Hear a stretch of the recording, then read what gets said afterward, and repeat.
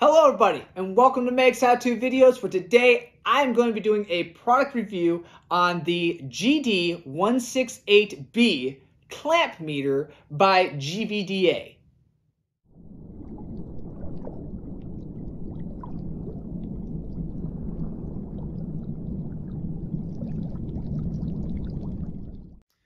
All right, so we're going to begin here with the unboxing. All right, first let's look at the box. It's actually pretty colorful. It's not just like a standard cardboard.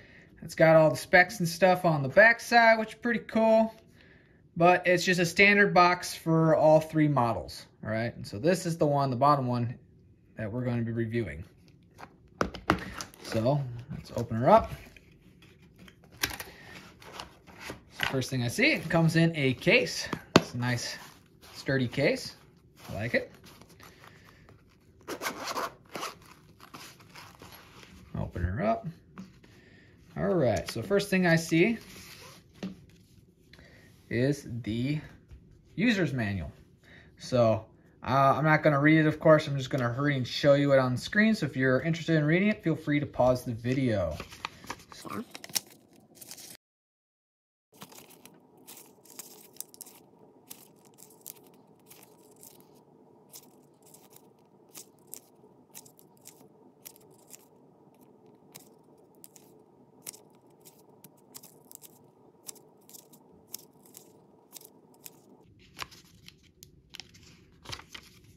Go. All right, next. We got a pair cables or test leads. And we also have a temperature cable. And then of course the clamp meter itself, which actually is a, a decent size. It's a little smaller than uh, the other one I have, so it's really nice in the hand. All right, let's open this up. Get a better look at her. It's got a pretty decent sized screen. Look at that thing.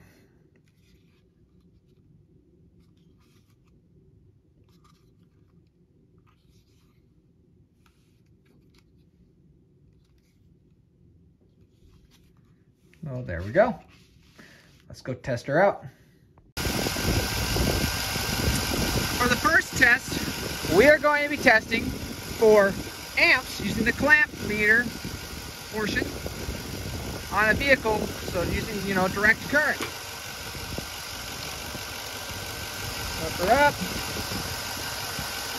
She's got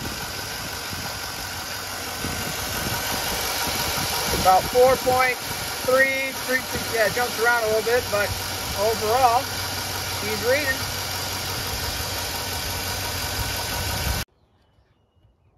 For this next test, we're going to be testing how well this thing measures direct current. You can see I already have it pre-selected on volts, and uh, right here it says DC. So let's test this battery. Now I already tested it with another multimeter, and that one read 12.3. So let's see what we get here. We're getting 12.3, 12.31. So, yep, that thing's pretty accurate. Here you can see I've got my clamp meter hooked up to my toaster. And we're going to be testing for alternating current, or I should say the amps through alternating current. Uh, so I'm going to flip on one side of the toaster. See, it's got the auto feature. It's detecting 6.25 amps. Uh, flip on the other side and it jumps up to 12.4, 12.35. So it works. For this test, we're going to be testing out AC current. So here in the United States, standard wall outlet measures about 120 volts. So let's hurry and test this out. The auto feature is detecting up oh, 122 volts AC. Next, I'll be testing the NCV Live Reader, which is located right here at the top. So pointing at the wall, glows green, and it shows an L, which means low. And if I plug this in, give me a second. Um,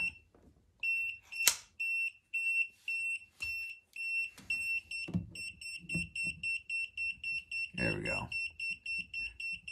Glows red, shows an H for high. All right, here I'm going to perform a continuity test using this wire. And the auto detection reads good continuity.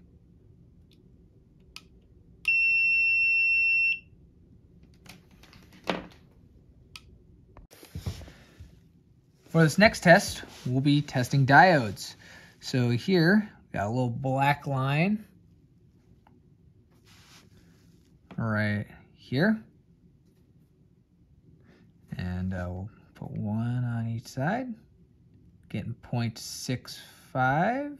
Oop, there we go. And if I flip the leads, got nothing, which means it's a good diode. For this test, I'm gonna see how well the temperature sensor works. So throw that on. Let's see.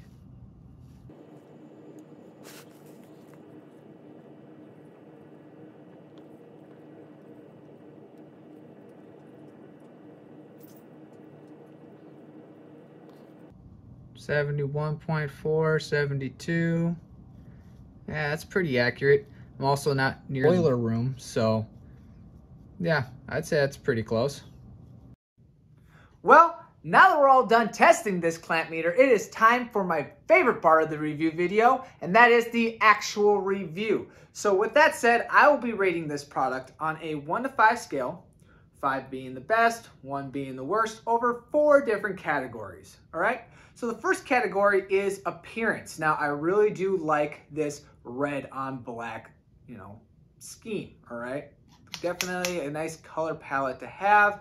Uh, I do like the overall screen size. It's really big. It's very vibrant. Got a lot of colors.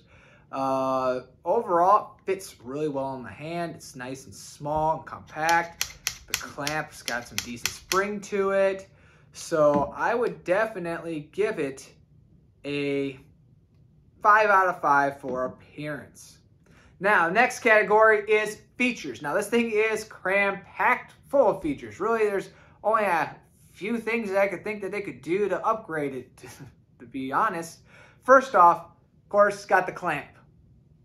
Great. Works for both AC and DC currents. Great. It has a NCV live reader at the top, as well as a flashlight. Look at that. Woo. Not the brightest thing, but it actually does illuminate pretty well. It also has all the features of a standard multimeter, well, at least for the most part. It, but it also has another feature, and that is the smart capability. So it's a smart meter, which means, for those who don't know, it can sort of pretty much auto-detect what you're trying to test for. So instead of you having to always select, you know, volts, amps, ohms, it, if you have it on the auto setting, it should detect it automatically. So with that said, I would still give it a 5 out of 5 for features. Now, the next category is price. Currently, they say this thing's valued at roughly about eh, 60 bucks. I don't really see that. I would say it's more around the $40 range. But still, nevertheless, currently it's being sold online at their on their website for about $28. All right, which right there, you got me sold. 28 bucks, great price, five out of five. Last category, and that is performance. How well was this thing? How accurate was it? Well, from the tests that you could see, the clamp meter worked. All right, it was able to read DC and AC amperage, no problem. Worked great. Uh, the multimeter has some issues with the auto feature, trying to detect what I mean, I was trying to measure, especially like uh, when it came to the NCV Live. For some reason, even when I was further away from the wall outlet, it was still reading low. got beeping at me. I'm like, what in the world?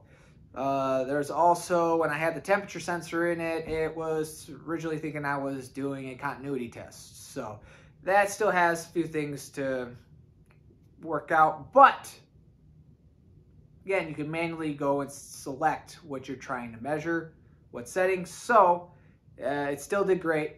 Uh, I compared it to some of my higher end multimeters and again, was pretty dead on, pretty accurate. So overall performance, I would give it a five out of five. So with that said, this is a perfect five out of five over all categories, which is great. I don't really give that out too often. What you can do to improve on this, all right? So this is more towards GVDA. How can you improve this product? Well, one, all right, you don't include batteries with it. It takes three AAA batteries. You could include the batteries. Or, better yet, you could install rechargeable batteries that you could charge using USB-C. That'd be great. That'd be awesome. That'd make the product so much better. Even if I had to spend an extra five, ten bucks, it's already worth it. With that said, if you enjoyed this video, please click on the like button below that and subscribe to my channel to see more how-to videos or product reviews. Uh, if you have an idea for a how-to video or would like to uh, have me review a product, please leave a comment below or hit me up on one of my other social media accounts. But uh, with that said, God bless and good luck.